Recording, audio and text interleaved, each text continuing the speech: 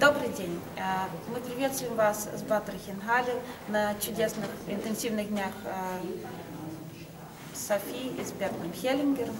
Сейчас идет э, курс Cosmic Power. Влада приехала из Калининграда впервые на этот курс.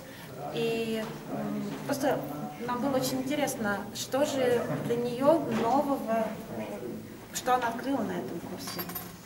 Ну, на самом деле много нового, и я понимаю, что осознание будет и понимание еще будет и дальше по возвращению в Калининград.